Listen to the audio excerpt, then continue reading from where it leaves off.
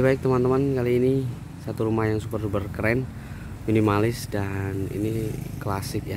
Posisinya di hook tamannya sangat luas sekali. Ada taman samping depannya green area dan sampingnya juga green area.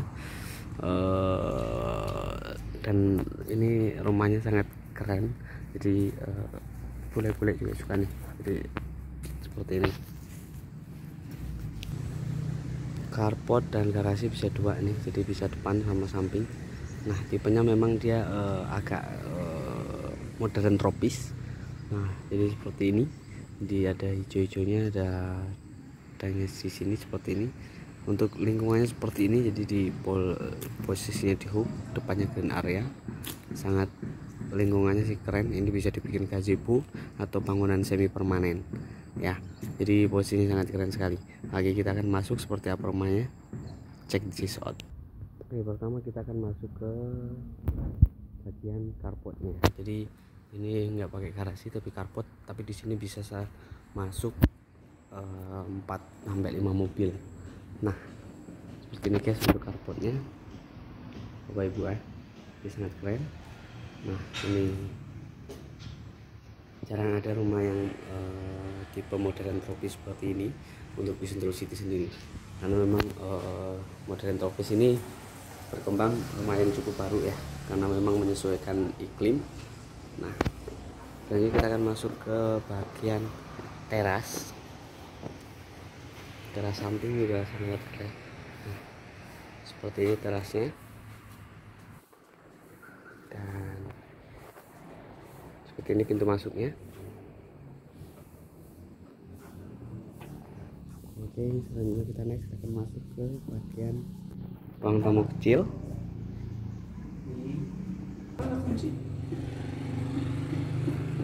Jadi pintunya ini pintu utamanya. Sebelum masuk pintu utama kita akan lihat eksteriornya. Artinya isi luar ruangan. Jadi di sini ada taman teras. Nah terasnya cukup luas. Nah ini taman di bagian hooknya so lihat tamannya sangat luas depannya green area. Sampingnya juga green area. Nah di sini inilah tropisnya jadi ada uh, daun-daunan eksteriornya. Seperti itu. And next kita akan masuk ke ruang samping. Nah sampingnya sama sudah rapi seperti ini guys. Ya, kita akan lihat. Ini juga bisa masuk dari sini untuk lewat sampingnya. Nah seperti ini ya. Viewnya sangat keren. Wow. di sini ada ayunan yang bisa buat santai. Next kita akan masuk ke ruang tamu besar ini ruang tamunya. Itu ada jam dinding yang minimalis. Nah sebenarnya tadi kita masuk lewat sini. Oke inilah ruang tamu yang pertama saat kita masuk pin pintunya pintu utama. Klasik dan tropis sekali. And next kita akan masuk ke ruang nah ini ruang family room ruang makan dapur bersih jadi satu. Seperti ini kesannya. Dan selanjutnya bagian sebelah kanan langsung kita menghadap ke kolam renang. Kolam renangnya pun sangat unik jadi uh, semi di bawahnya. Kita bisa lihat dan lumayan cukup luas. Ini untuk areanya santai teras dan sebagainya. Dan ini ada dua ruang dan di sini ada void. Maksudnya uh, ruang terbuka. Nah like that. Bagian kolam renang sampingnya ada ruang cuci. Jadi uh, ruang bilas. Nah, seperti ini ruang bilasnya. Di sini ada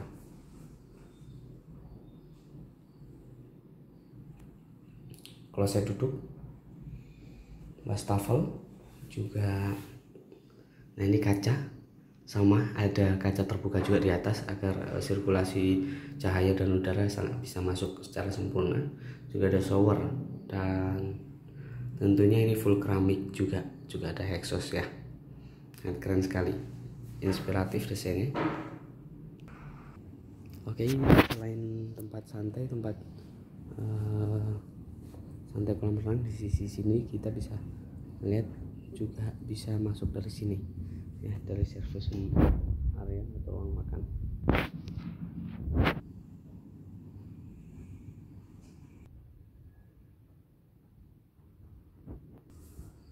Ya, jadi seperti inilah bentuknya. Untuk ruang tamu family room dan ruang makan juga ruang TV di sini. Uh,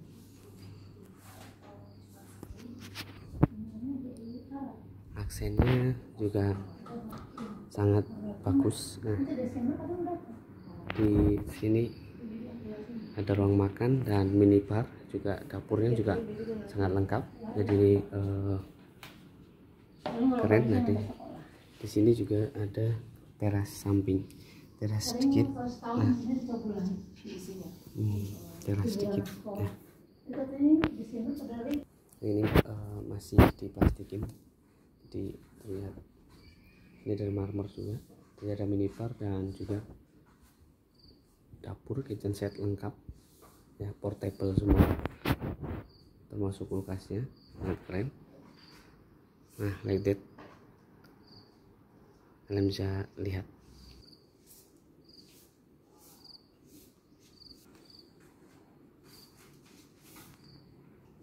Oke, selanjutnya kita akan masuk ke bagian service room area. Jadi ini untuk service room area di sini. Jadi kita bisa turun atau naik. Nah seperti ini. Uh, kita akan coba naik dulu ya sebelum turun. Nah, ini service room area. Jadi uh, semua tuh tempat cuci semua terpisah di sini. Juga yang bisa wow keren ini. Ternyata di sini full dark juga yang fungsinya. Ini sangat bagus ini instalasinya. Ini bisa buat barbecue dan lain sebagainya yang pastinya. Dan di sini viewnya taman oh keren. Ternyata dari sini ada sisi lain yang tersembunyi. Nah di sini cukup untuk acara ulang tahun dan lain sebagainya. Atau mungkin barbekyuan dan inilah viewnya viewnya sangat keren sekali. Daun-daun hijau yang sangat indah. Nah seperti ini untuk uh, area atapnya. Ini cukup luas juga untuk jemur juga bisa. Next kembali ke ruang servis cuci. Ini untuk tampak uh, tampak sampingnya karena ini covernya belum dibangun seperti ini. Service area bisa masuk keluar lewat sini. Nah tidak lupa aksen-aksen di sini. Dan di sini adalah dapur kotornya yang tersembunyi di sini. Ya dapur kotor dan area service room area. Eh, next kita akan turun. Nah ini untuk macam-macam aksen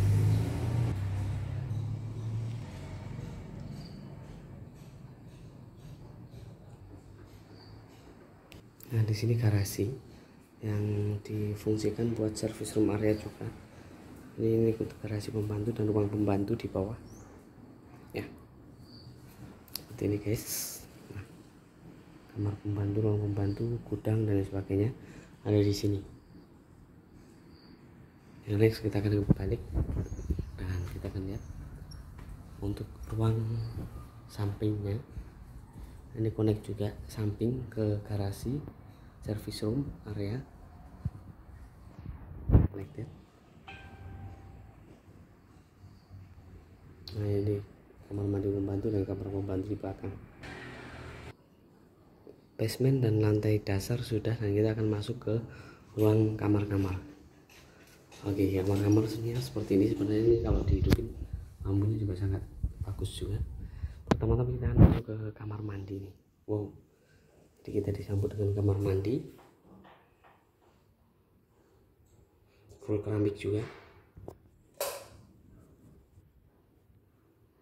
Ya, ada kloset duduk kamar mandi kaca shower dan wastafel yang sangat indah unik.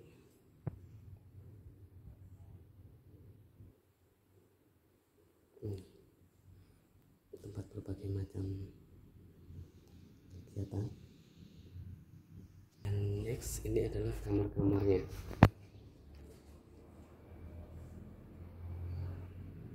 Kamar menghadap ke kolam renang. Ada satu kamar anak yang bisa dilihat. Oke okay, like that. Pencahayaan juga lumayan bagus Jadinya kamar kedua. Nah seperti ini kamar keduanya. Memang ini diciptakan modern tropis. Jadi ruang-ruangannya sangat simpel. Dan seperti ini bisa menjadi inspirasi desain rumah anda ketika anda ingin mendesain rumah modern tropis. Oke okay, next kita kamar yang ketiga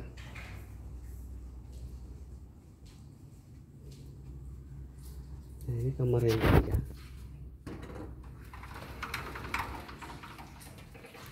Oke. Kamar yang ketiga ini sama dengan kamar yang kedua dan pertama. Cuman memang uh, ini masih rapi karena yang dipakai baru kamar pertama dan kedua. Nah seperti ini. Tampilannya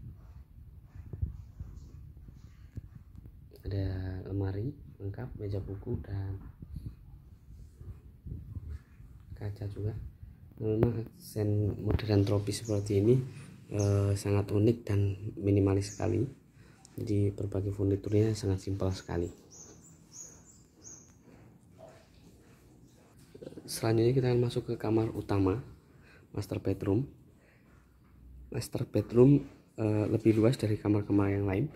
Dan kita lihat seperti ini kamar master bedroomnya dan sama dengan nuansa minimalis. Dan ada kamar mandinya bedanya. Di sini ada kamar mandi utama dengan ruangan cukup luas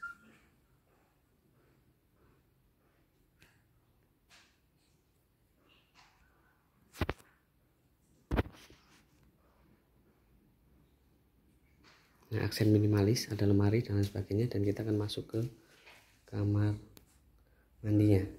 Ada bathtub yang pasti dan kalau saya duduk juga shower dan di sini ada pencahayaan ada wastafel juga tempat cuci dan tempat wastafel dan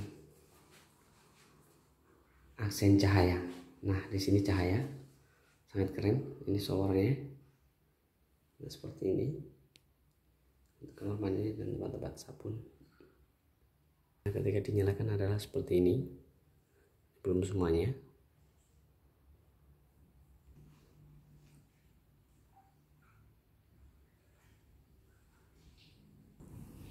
Nah, ini kolam renangnya ketika dibersihkan masih terawat jadi masih dihuni masih dirawat